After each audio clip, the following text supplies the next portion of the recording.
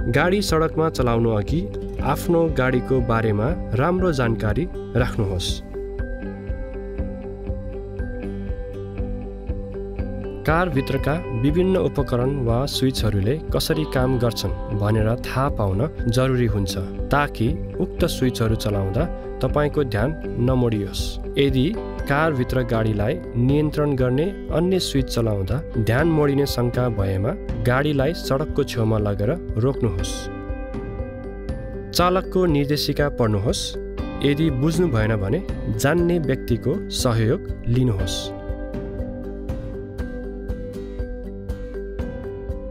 चलाउन सुरु गर्नुभन्दा अगाडि बस्न सजिलो हुने गरी सिट मिलाउनुहोस् जसले तपाईँलाई स्टेरिङ विल र पेडल देख्न सहज हुन्छ। चलाउन सुरु गर्नुभन्दा पहिला पछाडिको दृश्य देख्न सक्ने गरी ऐना मिलाउनुहोस्। ब्लाइन्ड स्पट जाँच गर्नुहोस्। झ्यालमा भएको तुवालो डेमिस्टरको प्रयोग गरेर कसरी हटाउने थाहा पाइराख्नुहोस्। गाडी चलाउनु अघि टायरमा हावा भए नभएको बत्ती टुटफुट भए नभएको वा तपाईँको गाडीलाई बिगार गर्ने अन्य केही बिग्रे नबिग्रेको राम्रोसँग हेर्नुहोस्।